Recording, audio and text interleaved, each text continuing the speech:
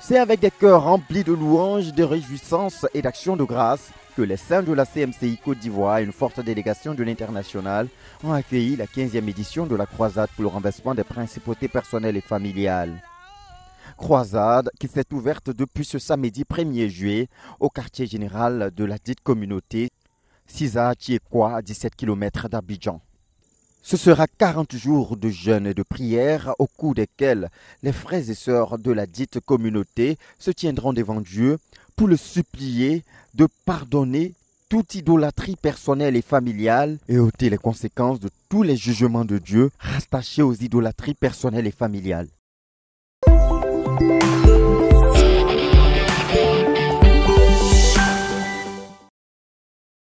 La session d'ouverture fut l'occasion pour le pasteur Boniface Meignet, orateur principal du programme, d'annoncer que cette édition sera axée sur des prières d'importunité, en accord avec les vertus de l'intercession suppliante auprès de Dieu qui est au cœur de cet événement.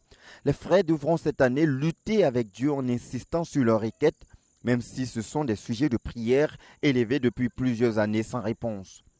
À juste titre, le pasteur Boniface Meignet a conduit l'Assemblée à élever au Seigneur dix principaux besoins qu'ils porteront tout au long de cette croisade. Ainsi, chaque jour de cette croisade, les saints insistent auprès du trône du Père céleste pour qu'il les exauce. Toutefois, il y a plusieurs principes et plusieurs conditions qui encadrent l'art d'intercéder en vue d'être exaucé. C'est donc à partir des messages d'orientation riches en doctrine, prophétie et en révélation que le pasteur Meignet prépare l'Assemblée à entrer dans l'intercession quotidienne. Dans ce contexte, commentant le passage de Romains, le chapitre 1, le verset 18 à 25, le pasteur Meignet présente comment les familles de la terre se sont rébellées contre Dieu et comment en conséquence Dieu a fait tomber sur eux son jugement. L'orateur a ainsi invité l'assemblée des saints à supplier Dieu pour qu'il pardonne et retire ses jugements. La prière d'ensemble est une arme efficace si et seulement si elle émane des cœurs unis. C'est ce que le pasteur Boniface Meignet révèle au deuxième jour de la croisade dans le commentaire du passage de Romains le chapitre 15 le verset 5 à 7 qui a constitué le test d'appui de sa première exhortation du jour. Pour prier ensemble, il y a des conditions à remplir. On peut se réunir, We can gather. c'est déjà un point, It's already one point. mais il faut avoir les mêmes sentiments. But we must have the same feelings. Nous devons avoir la même vision de notre Dieu. We must have the same vision of our God. Quand on est unis en esprit, When we are united in spirit, quand nous ouvrons nos bouches, when we open our mouth, Dieu nous exauce. God les querelles, les jalousies et les luttes afin d'être exaucés, selon l'exhortation des Écritures dans Jacques, le chapitre 4, les versets 1 à 10. Au troisième jour de la croisade pour le renversement des principautés personnelles et familiales 2023, le pasteur Boniface Peigné a poursuivi son élan d'introduction des saints dans l'examen des principes et facteurs encadrant l'exaucement des prières collectives et individuelles. Au quatrième jour, le Seigneur a révélé à travers son serviteur l'origine des envoûtements. En effet, plusieurs envoûtements trouvent leur origine dans les pactes que les familles ont signés avec les démons et les méchants esprits. De la même manière qu'Abraham a rencontré Dieu et tissé une alliance avec Dieu, engageant toute sa descendance avec des promesses de bénédiction conditionnées par une marche dans la justice, l'intégrité et une confiance indéfectible en Dieu, plusieurs sorciers ont aussi rencontré le diable pour devenir puissants dans le mal, et ce, engageant toute leur descendance. Et les conséquences de ces alliances diaboliques influent encore sur la vie de plusieurs personnes. Cependant, selon qu'il est écrit que le Fils de Dieu apparut pour détruire les œuvres du diable, dans 1 Jean le chapitre 3, le verset 8, la quatrième session de la croisade a porté sur l'anéantissement de toutes ces alliances à la base des envoûtements et des proclamations prophétiques pour la pénétration de l'évangile dans les familles.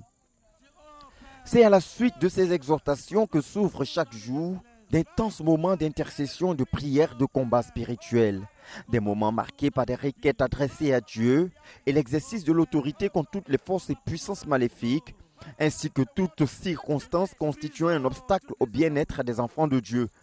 le brisement des envoûtements, la destruction de toutes les œuvres de la sorcellerie et la guerre contre les démons et tous les esprits méchants ou encore la prière pour la guérison de toute maladie sont au rendez-vous de chaque session de prière. Pour les quatre jours déjà écoulés, plusieurs démons ont été chassés et plusieurs délivrances se sont opérées, séance tenante, en réponse aux prières élevées annonçant les couleurs de l'action de la main puissante et agissante du Seigneur qui sera à l'œuvre tout au long de ces quarante jours pour sauver, guérir, délivrer et restaurer son peuple. On enregistre déjà 463 guérisons décomptées, 541 délivrances des démons et de l'emprise des démons enregistrées et 953 démons chassés au nom de Jésus-Christ.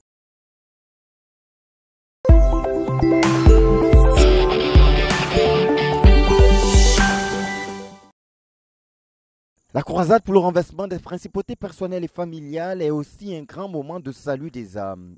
Venez, venez, venez. Come, come, come. Venez donner vos vies à Jésus. Come and give your life to Jesus. Jésus est le roi des rois, Jesus is the King of Kings. l'ami fidèle. À chaque session, dans son fardeau de voix, les perdus recevoir la bénédiction suprême qui est le salut bien avant les autres choses à demander au cours de cette croisade. Il donne l'opportunité aux perdus de se réconcilier avec Dieu. Tu veux chasser les démons. You want to cast out demons. Première étape, First step, donne ta vie à Jésus. give your life to Jesus. Viens Come. Que rien ne t'empêche Let nothing hinder de te réconcilier avec Dieu ce soir. Pour les cinq premiers jours, on enregistre un total de 426 âmes gagnées au Seigneur Jésus-Christ, dont 125 le premier jour, 170 le second jour, 55 âmes le troisième jour, 50 âmes le quatrième jour et 26 le cinquième jour.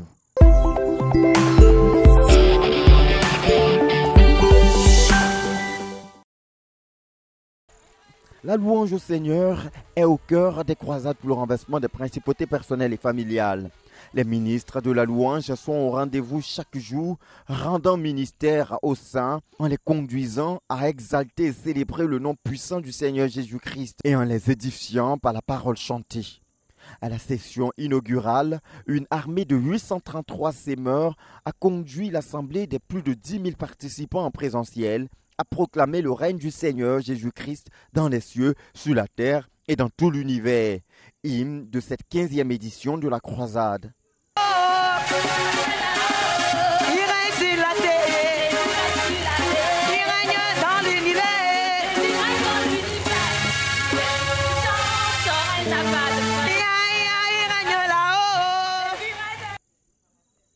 Des paroles qui annoncent les couleurs des grandes victoires dans lesquelles le Seigneur Jésus-Christ, le roi des rois et le maître de l'univers, conduira son peuple au cours de ces 40 jours de jeûne et de prière consacrés au retour à Dieu et au réveil spirituel de tous les croyants, ainsi qu'au salut et à la délivrance des membres de nos familles de toute forme de blocage, d'infirmité et de malédiction. Ouverte depuis le 1er juillet, cette croisade se poursuivra jusqu'au 9 août 2023. Bye.